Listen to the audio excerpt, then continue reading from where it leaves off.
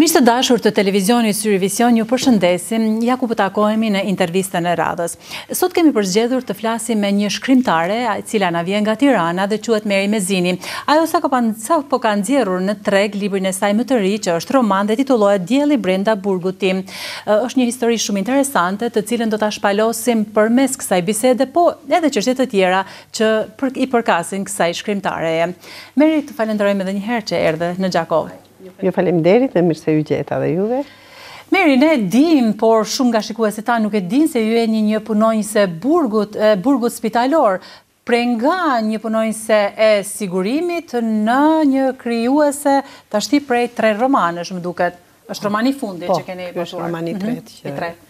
kam nxjerr tani në treg dhe është me histori nga jeta reale që bëjnë të dënuarit tanë nëpër burgjet tona.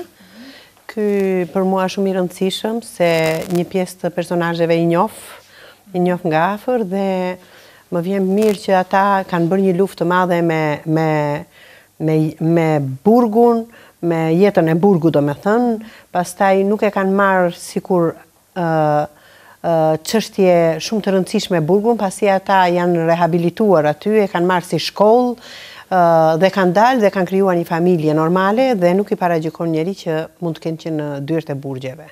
Pra, ju merrni një spunto, një emocion nga hapësirat e burgut dhe hidhni në letër për të shpalosur më tej dhe këto vështirësitë mbase që kalohen nga ajo jetesë në burgje ose aty ku janë të mbyllur. Unë e kam thënë gjithmonë që burgu është fat për të gjithë dhe nuk mund ta marrim shumë të rëndësishme që ky person është burgaxhi dhe duhet ta basaldojmë, se nesër mund të shkoj unë, mund të shkoni ju, s'dihet jeta është minë me sahat, pa dashje e shtypëm dikë, pa dashje, po nuk mund ta paragjykojmë për një vepër penale. Unë jam këtu, u kam thënë atyre të burgosurve, sikur të jem nëna juaj, dhe ju, unë ju, ju do kujdesem për ju sikur të jeni djali apo vajza ime, apo vëllezërit e mi, derisa ata të dalin të rehabilitohen dhe të shikojnë, të shkojnë në jetën e tyre normale. Dhe si është jeta bre, prapa burgut dhe jashtë dhe si trajtohen njerëzit atje brenda? Shiko, në përgjithësi duket si tabu, po unë nuk e marr tabu, se librin e kam nisur me një nënë, të cilën e prekja çdo ditë me dorë, e kontrolloja që futej të takonte djalin e vet. Ajo e ka bërë denoncimin e djalit të vet dhe kështu ka nisur libri, Alo, alo, unë po denoncoj djalin tim. Pasi djali i saj ishte i droguar dhe e vetmja rrugë për ta shëruar djalin Ishte burgu dhe kështu u arrit. Dhe si përfundoi historia reale e këtij personazhi? Unë aty kam sjellë tre personazhe, ndaj është dhe dielli brenda burgut tim. Një diell ishte dashuria e një vajze që e shpëtoi nga droga një djalë, edhe nga burgu, domethënë që ai s'mund ta kishte rrugën se shumica e përsërisin atë rrugën e burgut, kurse disa që gjejnë mbështetje në shoqërinë tonë të emancipuar, domethënë, se ka dhe një pjesë të shoqërisë që këta i basaldojnë nga opinioni, them që në burg gjehet shërimi edhe për drogën. Mund të thuhet që një i droguar nuk shërohet po unë po në këtë libër kam ardhë me fakte të vërteta që ka shumë të droguar që në burgjet tona në Shqipëri janë shëruar nga droga. Ky është libri i tretë, siç e thatë ju. Cilët janë librat e tu të parë, domethënë i pari dhe i dyti? Unë më thonë je pak feministe në fakt, edhe jam. I pari është Dashuritë e humbura të një gruaje, që flas për dashuritë e një shoqes time, që ka kaluar tre dashuri në moshën katërmbëdhjetë, njëzet edhe tridhjetë e pesë që nuk e paragjykojnë, nuk e paragjykoj dhe nuk dua ta paragjykojnë të tjerët se jeta është fat dhe këtu dua të tregoj që nuk ka gjithmonë vetëm një dashuri. Po, njeriu sa të jetë gjallë dashuron, pavarësisht se ato të braktisin apo i braktis. dashuritë. Pra librat e tu nuk flasin vetëm për jetën në burg, po dhe jashtë. Jo. Libri i dytë është libri që kam do ta nxirrja në vitet 90, domethënë, janë histori të vërteta nga jeta e shqiptarëve, mbasi erdhi demokracia, vajzave që i morën i, i krijuan dashuri të rreme, krushqi të rreme, i morën dhe i shitën nëpër trotuaret e Europës. Aty flet libri flet për gjashtë prostituta, Dy kanë vdekur dhe katër janë gjallë, është rrëfimi i tyre për jetën, tani janë me familje, kanë fëmijë, po rrëfejnë domethënë atë jetë makabër që kanë kaluar në duart e tutorëve shqiptarë në në Europë, që i kanë shitur, i kanë përdorur për interesat e tyre.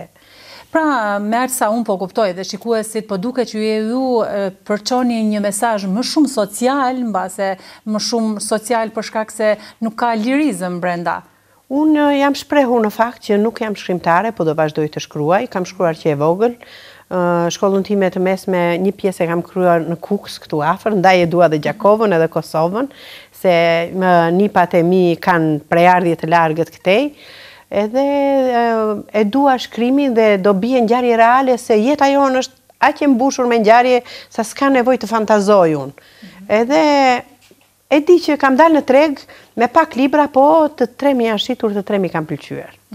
Meri, ju keni një prejardhje nga Përmeti, mbase është Përmeti më shumë nga qytetet e tjera të Shqipërisë që i frymëzon poetët, shkrimtarët për shkak se është quajtur qyteti i luleve, qyteti i krijimtarisë dhe i kulturës, aq pavarësisht se është i vogël, po gjithsesi ka dhënë për kulturën shqiptare.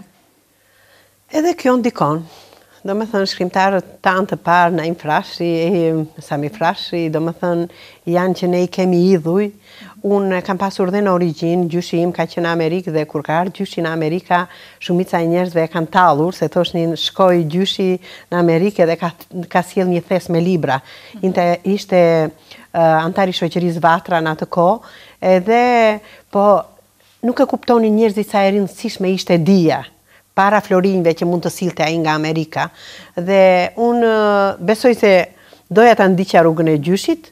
Gjyshi nuk ka shkruar, po ishte dijetar, lexonte, kam një vëlla, e kam prej babe atë vëllain, ai shkruan, sot është në Amerikë, Por unë kam shkruajtur gjithmonë, po tani më është më dhënë mundësia që të t'i botoj, për arsye se Shqipëria ka qenë tranzicion i demokracisë dhe nuk kisha mundësi financiare, ndërruam pozicion, ndryshuam edhe tani që jam e qetë, janë rritur fëmijët, besoj se do vazhdoj, ato që kam pa botuar do t'i botoj.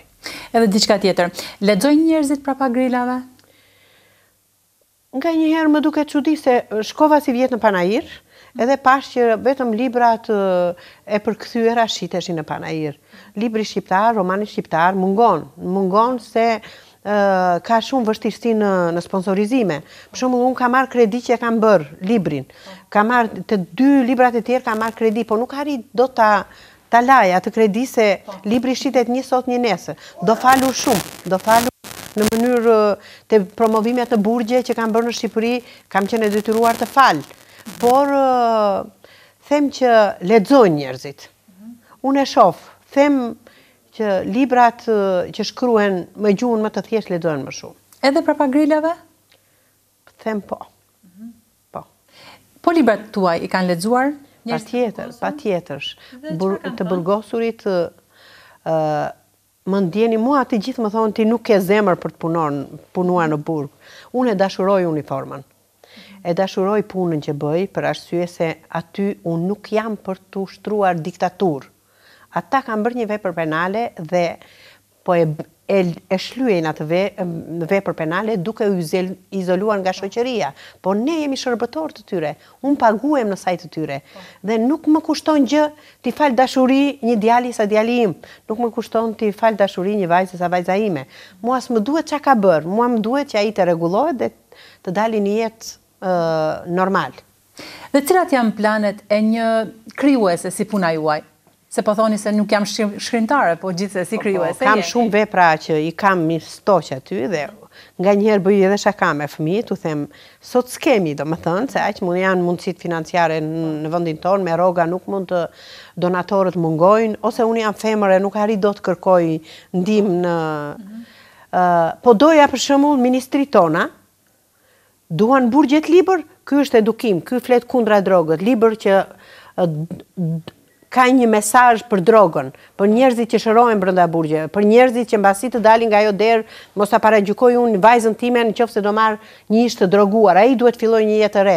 Dhe dielli i këtij libri është vajza që Kush do ta lexojë, do ta pëlqejë. Ajo vajzë i dha dorën atij djali, e gjeti të masakruar, të therur nga drogaxhinjtë, e gjeti me shiringën atë, e ndihmoi, e çoi në spital dhe arriti të dashurohej me atë djalë, se ka qenë një arsye që është droguar ai.